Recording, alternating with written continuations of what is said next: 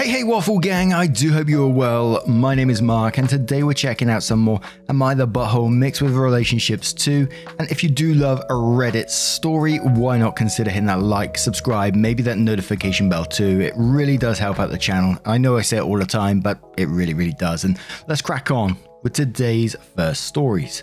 Now, today's first story comes from a throwaway account. It's titled, Would I Be the Arsehole If I Deleted My Friend's Engagement Pictures? And it does come with an update. I tried to be short. Sorry, English is my second language. I got married last fall. Where I live, fall means the trees are changing colours, so the wedding pictures are to die for. We didn't have a huge budget, so a friend of mine asked her friend if she could do it for me. I'd seen some of her work and she is really talented, plus she's a total sweetheart. The only thing is, for what she charges, and since it's more of a hobby, you'll get your pictures when you'll get them. Well, I got them, and now I need to know if what I'm about to do falls into asshole territory. A few days after my wedding, my friend announced to me that she was engaged. I was ecstatic and wanted to know everything. Turns out she got engaged at my wedding. My brain gets out of its vegetative state, and I remember her table being way too excited at some point, but I blamed the alcohol. I wasn't thrilled about it, realizing that she had basically not only gotten engaged at my wedding, but instead of hiding it and announcing it later, she announced it to our friends during the party. It was a tough pill to swallow, but I figured whatever. It's not like I even realized what was happening. We did have a discussion about it, and she didn't seem to understand why I was upset until I put it into perspective for her, asking her how she would feel if I made a big announcement at her wedding, taking the attention away from her big moment. In my friend's mind, it's no longer the day I got married, it's now also the day she got engaged.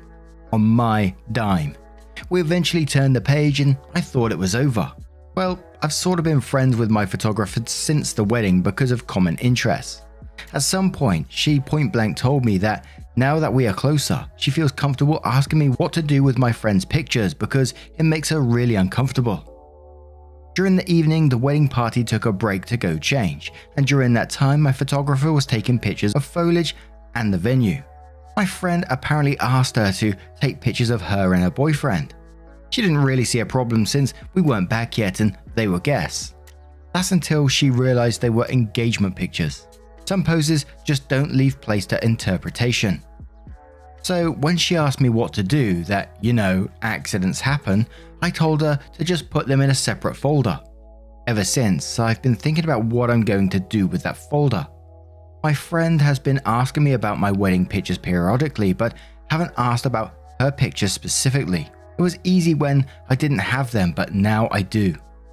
I've had them since April, and I know she will eventually come out of hiding now that COVID restrictions are loosened. I want to delete the folder since they are my property anyway, but I don't want to be a major asshole either. Before you say it, I do realise I haven't forgiven her at all like I initially thought.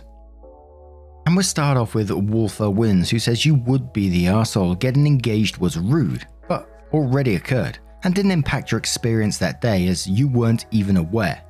Even though she was tacky, try to be happy that there was extra love slash reason to celebrate that day.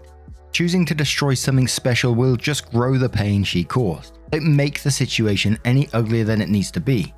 Start your marriage with forgiveness and grace instead of justified pettiness and revenge. Give her the folder, ask for compensation if you want to. Jesus Marley says, Yes, you would be the asshole. Your friend didn't make an announcement. She got engaged, and the only ones who knew were the folks at the table she was sitting at when it happened. Also, she tried to be discreet and didn't say anything to the photographer either. It sounds to me like she was excited but was still trying to keep it low key for your sake. That said, if you believe she is a horrible person for having the audacity to say yes and unintentionally hurt you, that is your choice. Destroying those photos is a conscious decision on your part to hurt your friend. Lumberdan says, Everyone sucks here. Why are so many people so petty about a guest getting engaged at their wedding? They clearly weren't taking too much attention away from you if you didn't notice at the time. There's a very good chance that they didn't do it with any ill intentions. After all, weddings are very romantic occasions. I do, however, think it's in bad taste for them to benefit by using your photographer, then ask multiple times for your wedding photos. especially as we all know they're only asking selfishly to access their engagement photos. I think it would be incredibly petty to delete their photos, plus it would be hard to explain how they went missing. Arch says, oh wow, not the arsehole. You'd be well within your rights. Announcing an engagement at someone's wedding is awful, but I would have been okay to let it go, like you. She might not have known a proposal was coming and they didn't announce it to the room at large. Your initial response to her was good, but the photographer thing is absolutely unacceptable. I think I'd keep her hanging, let her see the photos you've chosen of your special day, never mention hers. If she asks, you can then make her explain why she got your photographer, whose time you had paid for and allocated to take pictures that weren't about your day. You can choose whether to delete the photos or charge for them, but hopefully she'll be sufficiently embarrassed it will make her think. If not, I'm not certain I'd actually want her as a friend. Love, Faith and Healing says not the asshole. She cheated you out of money, be it a hundred or thousands of dollars. Wedding photos cost money, engagement photos cost money. Moreover, she knew what she was doing when asked the photographers to take those photos. My suggestion is 1. Never mention them and act like you have no idea what she is talking about. 2. Ask your photographer how much she charges for an engagement shoot, and tell the friend if she wants those pics, she needs to pay you for them. I'd bet my whole left foot if someone did this to her on her wedding day, she would light the world on fire. Opie replies saying, I didn't actually consider that, although it was definitely not thousands of dollars. Like I said, our budget was pretty tight and she doesn't charge nearly as much as she should for the work she does.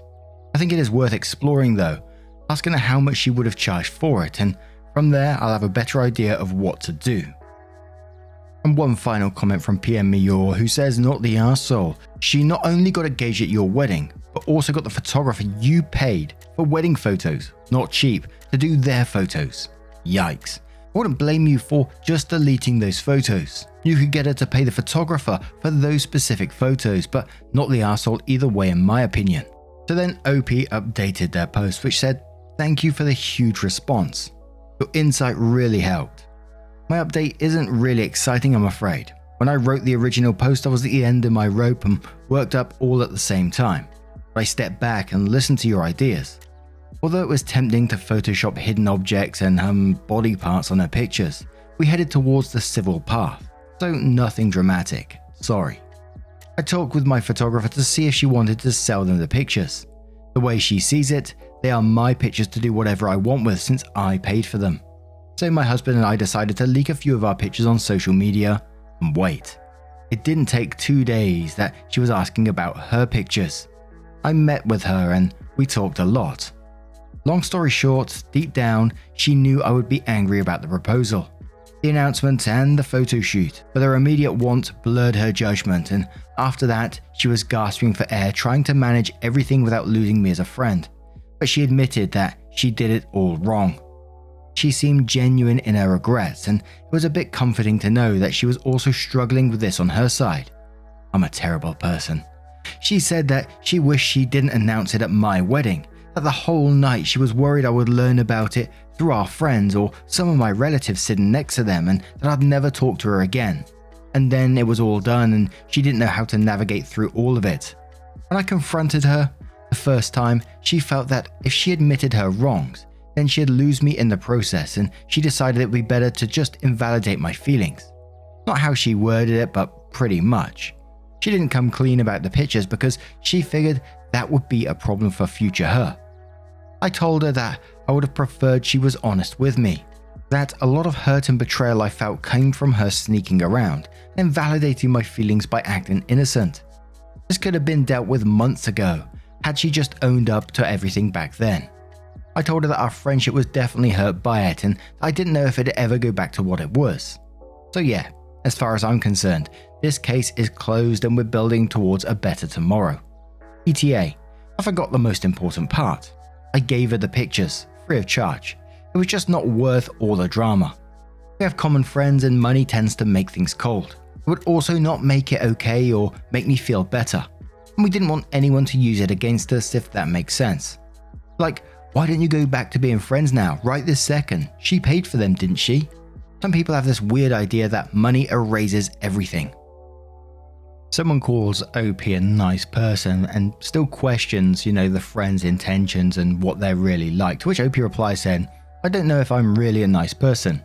I feel like a nice person would have done it because it would have made her friend happy. I did it because it made sense and I figured there would be no retaliation from that. Well, except from Redditors who demand blood. She is definitely a long way home. I don't trust her anymore, and a lot of our friends are also on the fence, and she knows that. This was definitely a mini victory for me. She knows it's up to her to clean up her mess, but I do think that people change. I know I have, so why not her? But I also know that it may not happen, and I'm okay with that. And the rest of the comments pretty much on this update, like OP said there, they were pretty much just looking for blood, saying that they would have basically fucked over that friend and never given the photos or deleted the photos. And OP's just opened themselves up to being a doormat pretty much. But what are your thoughts on this particular situation? How do you think you would have handled it if it was you? Would you have acted like OP? Would you have done something different? Let us know your thoughts down in the comments below and let's move on to another story.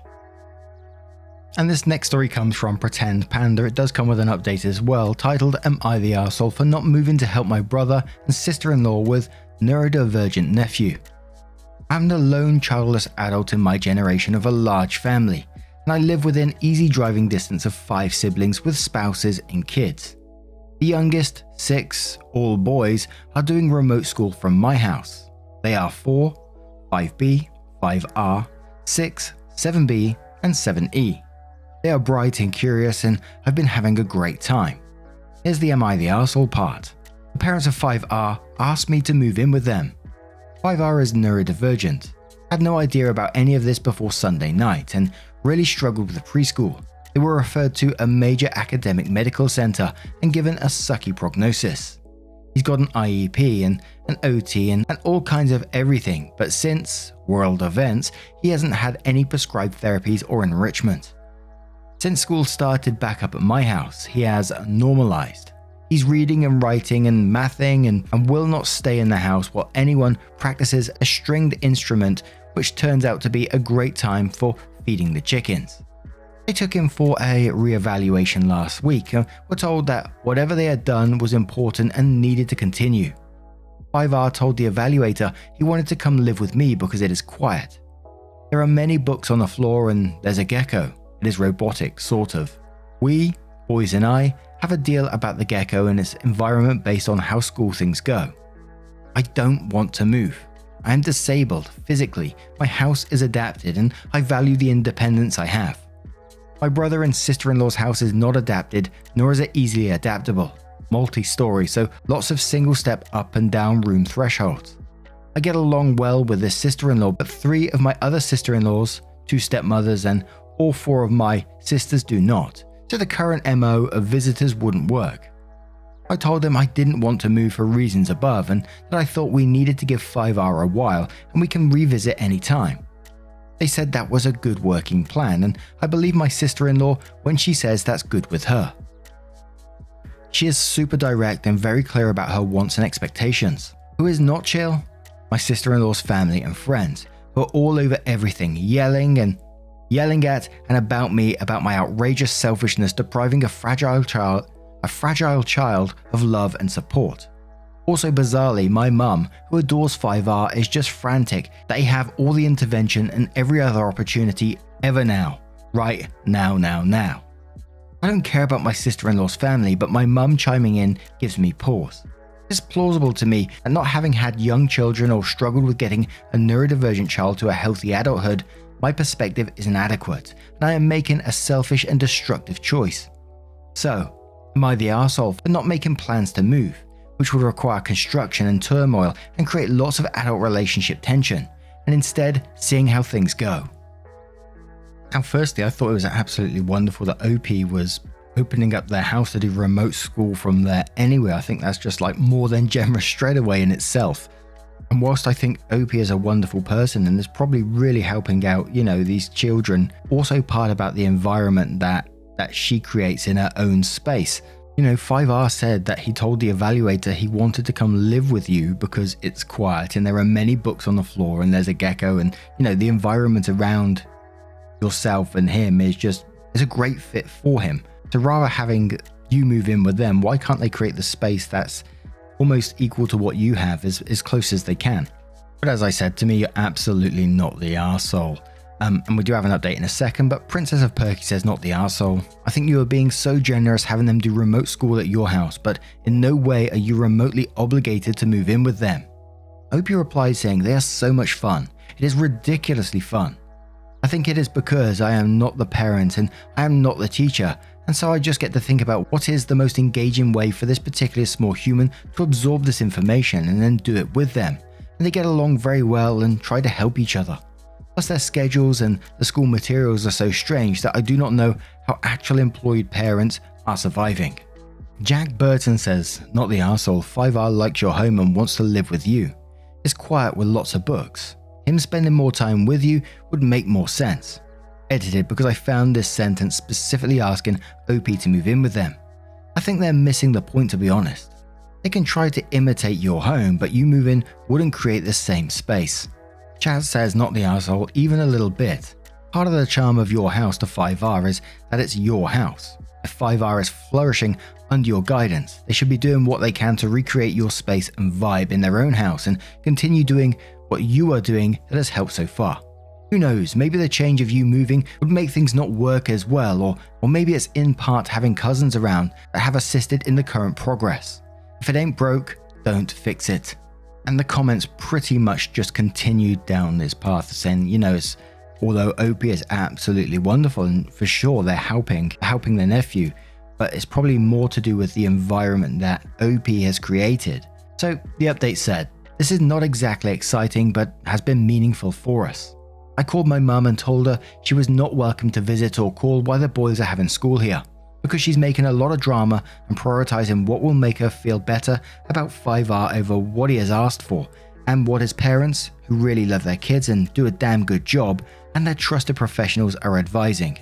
I set this limit because of feedback I got in the comments and a couple of DMs, and for the first time in recorded history, my mum apologized to my brother and sister in law specifically for being disrespectful and thoughtless of their parenting choices, and shooting her mouth off in a way that made a difficult situation harder.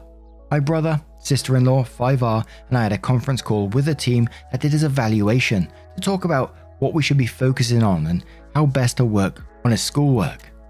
And they said to take cues from him and not to get into a pattern of him getting overstimulated because then he'll be less able to self regulate in other ways and it was like watching comprehension fireworks go off for my brother and sister in law, so that was very great.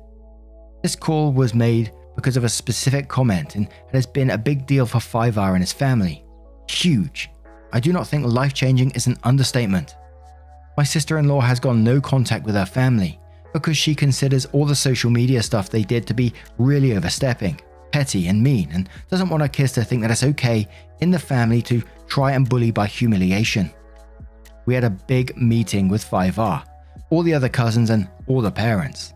The result is 5R is now staying at my house Sunday, Monday, and Thursday nights. He has his own room. He refers to this as one bed for each butt cheek, which is almost certainly stolen from an older brother or cousin. And starting in 2021, every fourth weekend, all the cousins are sleeping over Friday and Saturday nights. It will be absolute havoc. so thanks again for people of Am I the Arsehole? Your thoughtfulness has been very valuable to us. And I just can't get over what a lovely family dynamic OP is creating and helping out the other parents as well.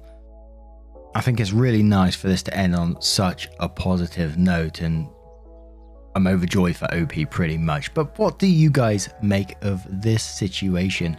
I can't can't get over the probably the relief the parents are, are feeling with everything that's going on right now. But let me know your thoughts down in the comments below. And just a huge thank you from the bottom of my heart for getting involved in today's stories. Your love, support, and time always means the absolute world to me, and you change the channel on the daily. If you would like to get further involved, maybe listen to the podcast if you'd like to, go to mark-narrations.com and select your favorite podcast there. And hopefully, I will see you in the next one. Take care, guys, and much love. Wake up, get up, stretch my legs, eat some breakfast, milk and eggs, brush my teeth up, watch my face. Throw my clothes on, start my day. Wake up, I can smell the smoke from the bacon. Let's go, see the sun shining from the windows. Okay, I know that today.